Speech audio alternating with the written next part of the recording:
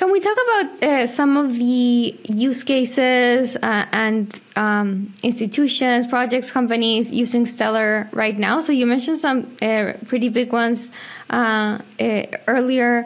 Uh, you mentioned the Franklin Templeton Fund, um, the UN. You know, a couple of other institutions using Stellar. So, yeah, would, would love to kind of dive into these use cases.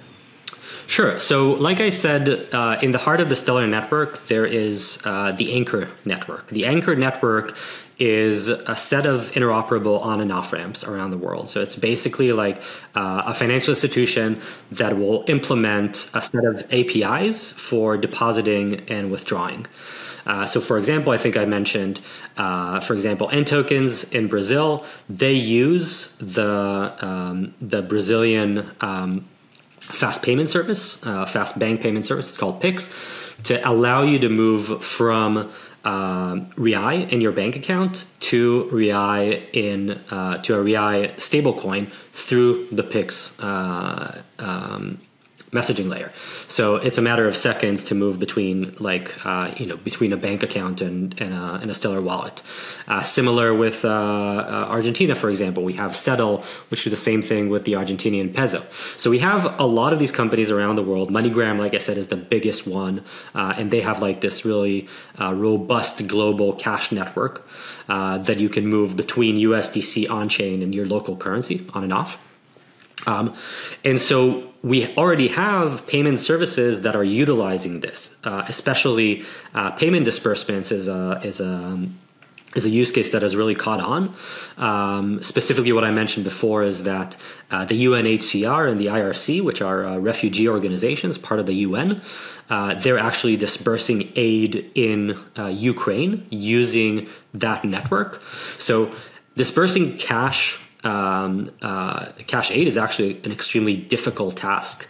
And usually you will actually have people uh, that are kind of like on the boots on the ground that are actually delivering cash. Uh, one interesting thing is that uh, MoneyGram is still active in Ukraine, and so what the what these UN organizations are doing is basically they're deploying Stellar wallets to their uh, to their users, and then the user or the recipient can choose whether to hold a stablecoin in their wallet or to take this out as cash using a MoneyGram agent. So if they're like about to cross a border, for example, which often happens with refugees, they probably don't want to be carrying like a lot of cash on them. So they would rather keep this as a as a stable coin. Uh, but if they are actually uh, if they actually need to do shopping with or whatever with uh, with the funds, they can actually take them out of a MoneyGram agent.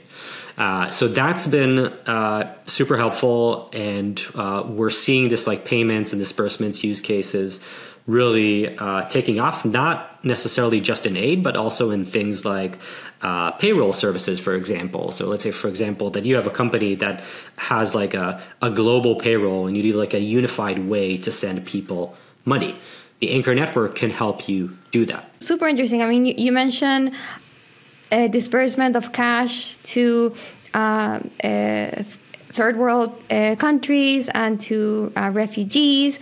And um, I'd love to hear kind of the uh, the potential challenges you've come across in um, just you know kind of the learning curve of getting. Um, people to just like regular people non-crypto people to use a wallet uh, to transfer you know uh, tokens and convert to cash like what's that education process like and like do you need like a huge team to be on the ground um, you know helping uh, this happen like how, how has that uh, been yeah so uh, luckily, when uh, when the UN started talking with us about this, we have already established some really important infrastructure to make this happen. So, like I said, the the MoneyGram and the Anchor network uh, were already there.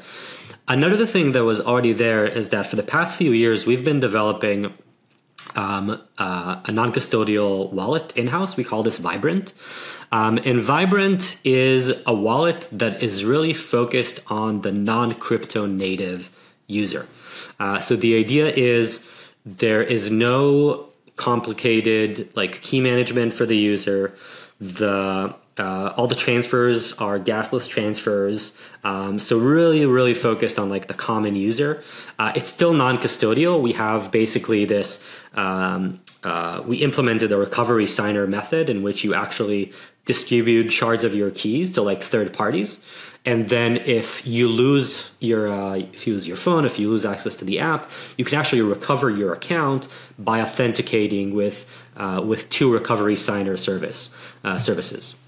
So we've already put a lot of effort into making this uh, into making this user friendly, um, and when the Ukraine project started happening, what we've done is we've taken this Vibrant wallet, we actually created a new build of it that is like completely um, kind of like vanilla and and really uh, like doesn't have any advanced crypto features.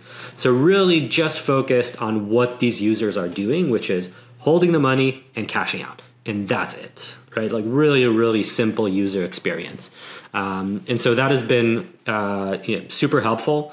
Um, you know, there's definitely this has been uh, you know a, a, learning curve for us and we've learned this uh, so Vibrant is mostly used these days in outside of the ukraine context it's actually used in argentina for um, for hedging against inflation. And so for the past few years we've been learning about all the difficulties that people have in, in onboarding to uh, to a crypto wallet and have been dealing with that um, and actually, in the past, uh, ever since the presidential elections in Argentina, uh, we've been seeing uh, a, a, huge uh, demand for for like these type of financial instruments. And because there are like less regulatory hurdles these days, uh, these things are really picking up.